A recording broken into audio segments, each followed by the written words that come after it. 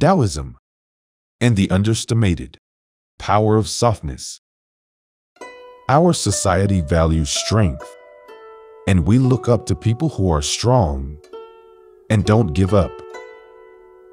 These traits help us face problems head on, create and keep our personalities, and control our futures.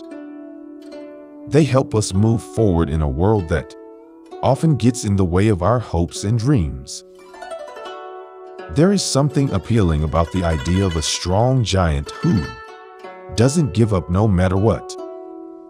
But have you ever thought about how weak and soft people can be strong in a quiet way that is often missed? At first, this point of view might seem odd. After all, we are often told that being soft means being weak, easily influenced or bullied, and powerless. Still, it isn't quite that simple. In fact, being weak does not mean that you have no power. Instead, it shows that you are open to change and ready to go with the flow.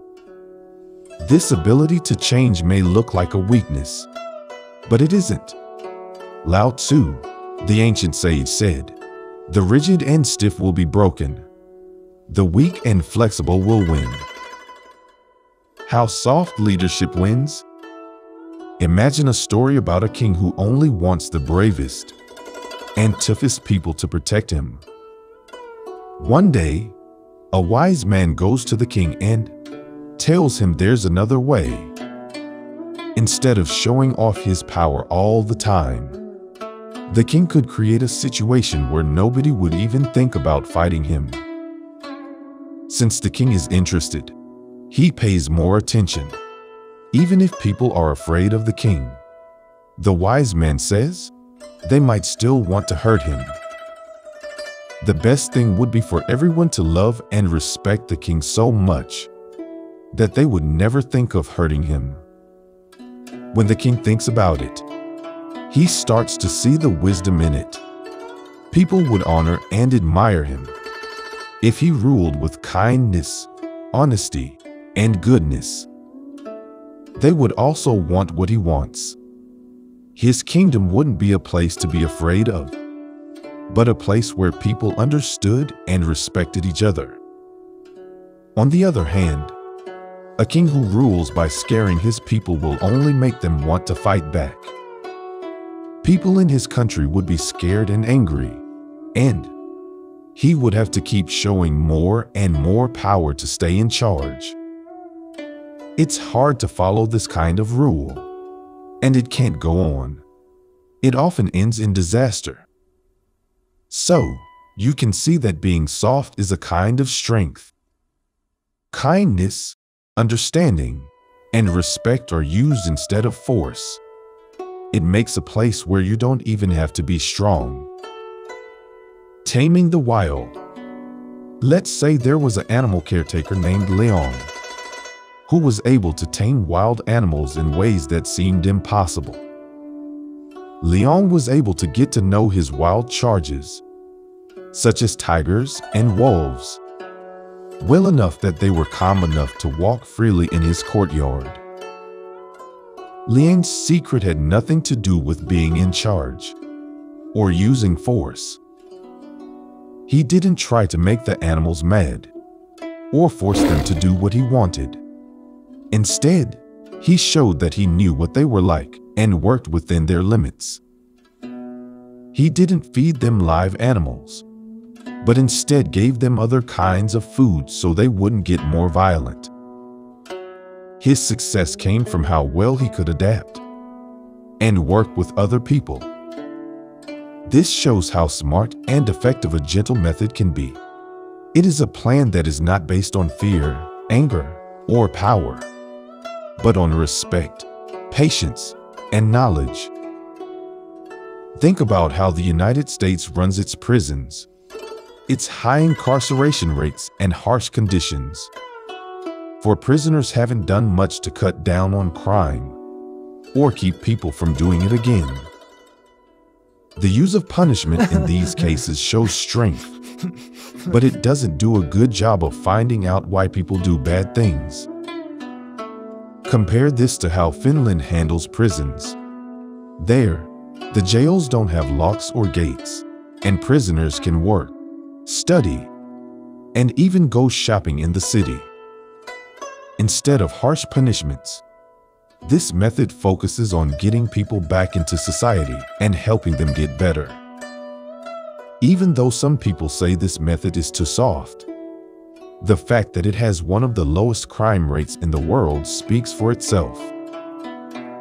Again, we can see that being soft can beat being tough. We can't just deal with the results of crime. We also need to deal with its causes in a nuanced and individualized way. The strength of giving up. Lao Tzu uses water as a metaphor in his famous book, The Tao Te Ching, to show how strong it can be to be soft and compassionate. Water moves and changes when you touch it. It bends in the wind and moves around things that are in its way. It doesn't try to do anything though it is seen as weak in many ways. It lives in the lowest places, not the high, lofty ones we usually connect with power and importance. The society we live in has taught us to value being strong, assertive, and set in our ways. Lao Tzu, on the other hand, wisely said, water is the softest and most yielding material. Still, water is the only thing that can beat it when it comes to breaking through something hard and stiff. So, most people don't realize how important it is to be kind, humble, and open to change. Imagine a room full of people who are all talking about the same thing. Some people even if they don't know much but are very confident, might take over the talk. Others might say that they understand it a little bit better, which could start a war of words. Yet, the smartest person is often the one who listens, asks questions, and is willing to learn new things. By being soft and humble, this person is able to get past the hard and rigid attitudes of others which is good for everyone. This is important to how we live every day. Being flexible and able to change are important survival skills that help us get by in a world which is always changing. On the other hand, being too rigid can make it hard to change or adjust to new scenarios. When we're too set in our ways, we risk not fitting in with our environment and cutting ourselves off from change, which is what makes life worth living. The stiff and rigid will be broken, says Lao Tzu. The weak and the flexible will win. So, as we go about our daily lives, we might do well to remember the knowledge of the soft, flexible, yielding, and use it wherever we can. Learning to be open and soft. Being firm is often seen as a good thing in our society. It helps us avoid being tricked, bring order to chaos, and stay strong when things aren't clear. When we stand our ground, we are less likely to give in to bad ideas. But there is a fine line between being tough and being too strict. The risk is that in trying to be strong, we might become rigid, unyielding, or even worse, incompatible with a world that changes all the time. When this happens, we risk being cut off from what makes life interesting. On the other hand, being flexible can help us ride the waves of life's constantly changing reality, keeping us in sync with its regular flow.